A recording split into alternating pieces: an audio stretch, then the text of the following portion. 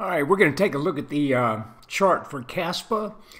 And uh, first, I want to tell you a little bit about myself. I've been charting stocks and, um, and indexes for about 25 years, and actually have charted the S&P 500 every day, with rare exception, um, for the last 12 years. So anyway, I uh, just want to take a take a look at a couple of things that are going on here in the Kaspa chart that, that make it kind of interesting. The first thing is I think we have a long-term support line. Uh, down here, this lower purple line, you can see uh, that it, uh, ignore this opening candle here. That's just, uh, I don't think that's, that's worth paying any attention to whatsoever. But what's interesting is we, we do have a low back in October of 2022. And we have this line when extended out. We have two touches in, in, in uh, February uh, of this year.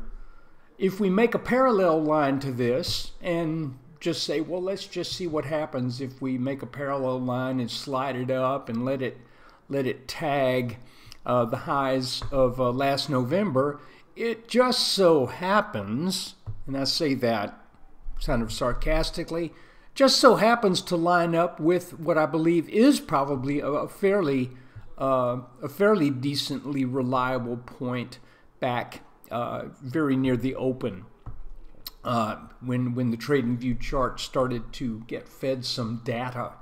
So anyway, uh, there's a touch on the upper line, and then we slide back, take a couple months, uh, and, and hit the lower line, hit it again, then we break up. Uh, you could look at this two and a half month period. Uh, I, I, think you could make the case that this was a consolidation triangle. Uh, I don't have those lines up there because uh, I just didn't want to clutter the chart up too much. But now let's zoom in. And I think I want to go to a one hour chart here. It's kind of funny.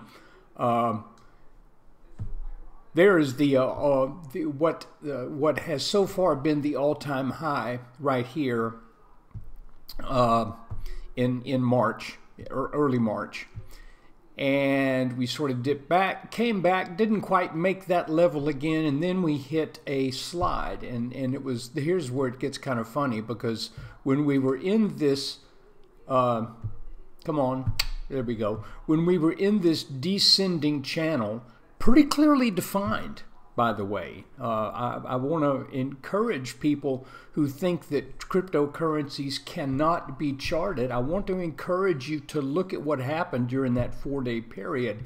At one point, we actually slid underneath descending support.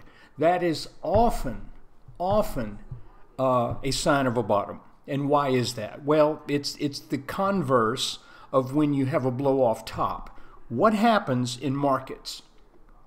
It just so happens that the people who tend to mark the bottoms and mark the tops are the emotional traders. They're the people who are driven purely by emotion. They sell in fear at the bottom, and sadly, they either uh, cover or uh, exhibit of FOMO at the tops. So they basically take things out of range, sort of giving you a clue hey, probably going to be a bottom. And in this particular case, uh, it's funny, I, I, made this little note and stuck it in the telegram. And it's capitulation, emotional selling from the last idiots to sell, good riddance. And uh, and I posted that actually uh, when we were still in this channel after we'd already come off that low, admittedly, but then we did get the breakout. After that breakout, we got a consolidation. That consolidation uh, was a little confusing. It's a little noisy. At one point, I thought it was a, a, a sort of a, a, fairly symmetrical looking triangle, but um, we broke down here and then rebounded and and it actually sometimes you just have to, to say well i had it wrong And so I think really what this was was a, a little bit more of a uh, a little bit more of a typical bull uh, flag. So we broke out from that um, actually uh, last night, and and now we have come up to a level uh, that is approaching this purple line. And that's the line that I think if we can get over, guys, if we can get over this purple line, especially, and, and, and again, you know, maybe we adjust it to where it tags the, the, the highs that we saw them this morning. I don't know. I don't think that would be a bad thing to do, but I'm leaving it right where it is. The idea being is that if we have a dip, we have a bigger dip, and if we have another dip over here, and then we end up getting over this purple line, that pattern would become an inverted head and shoulders continuation pattern.